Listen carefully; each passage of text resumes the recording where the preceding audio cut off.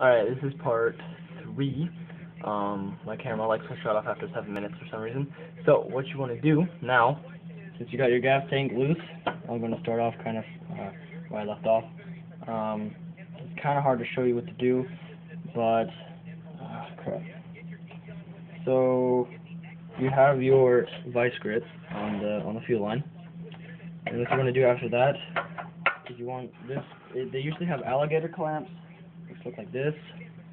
Little clamps that you just kind of clamp like that, and you can take it off with pliers or whatever. Um, so, but I took those off because you don't really need them. Uh, maybe if you want them for, for safety measures. What I do when I take the gas off, I do it really quickly. Take the hose off, and then I just lift it up. You get a little bit of gas everywhere, but not too much. Um, but then you got your gas tank off. Uh, you can get an upgraded gas tank if you have a go-kart, or if it's just for like a leaf blower or something. I mean, not leaf blower, um, wood chipper, or uh, or a snow blower or whatever. Um, there are parts you can upgrade, and then take the fuel line out, and then you can connect it again if you want to. Some gas might come out of the fuel line because there's a gravitational pull or whatever. Um, so you want to put that back on, or you don't have to. So gas out. So you can attach that again, and then you can just let that sit over your gas can and drain. It's quite a bit of gas. But it cleans your workbench, I guess. So, alright, so you can set that aside if you want to. You can drain it with some kind of rig. Um, so, now it kind of looks like a Honda clone engine. So, you can see what it looks like now.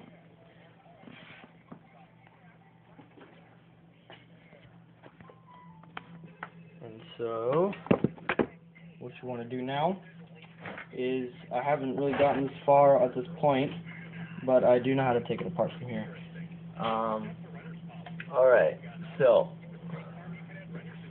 want to take the um, shroud off, or the, the, the pull cord. Um, this is called the shroud. So you also take your fifth, uh, 5 16th socket, or wrench, or whatever you got, and then you also take that off. Might need a little smack. I have only two on, on here. There might be three, but I just have two.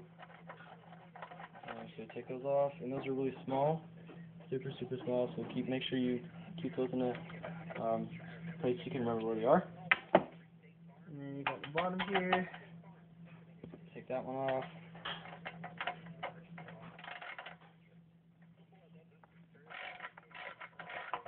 When it comes loose, you can either uh, finger untighten it, or you can take the socket like I do, and untighten it like that. That's you, and then that'll come off should come off with ease. Uh, so then you just set that aside. And there might be some grease on it a little bit. Like I said, you can wear gloves if you want to. So there's the, the pull cord. Now, if your engine's acting up, your pull cord might be broken. Uh, I, can, I can make a video on how to switch that, but there's tons of videos out there on how to switch your pull cord. Uh, probably not on a Predator, but everything's the same. Um, essentially the same type of function. So there's that set that aside. I don't really have a clean workbench, but uh, I know where everything is. So now, you want to, your Predator engine should have come with a tool to take it off. Looks like this. It's quite weak. Um, and mine strip already. But uh, what you want to do, I think I can take it off with this. I've already taken the See what I mean? Stuck. So, you can go to Lowe's or Home Depot or Harbor Freight or whatever. You can grab yourself a socket. I believe I have one. Just a second.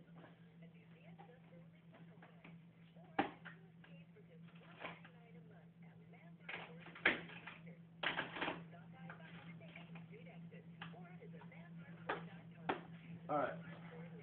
So, uh, this one works too big.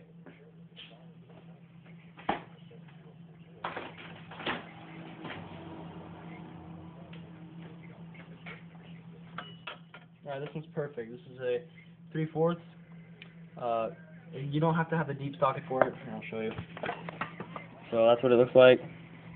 So you don't need a deep... Oh, crap. My carburetor just tipped over. Crap. Oh, well. Um, so that's what it looks like. Sorry, the sun's in your the eyes.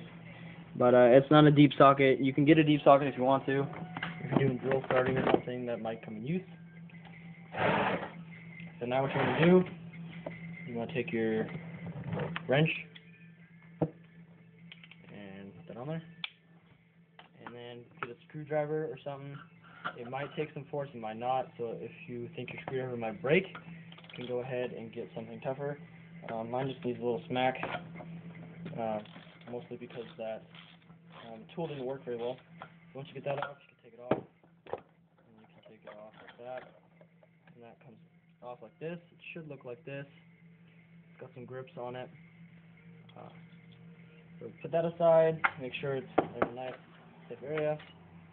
And you can take that off. And you get this, uh, this coupling or whatever um, comes on it. Um, put that aside.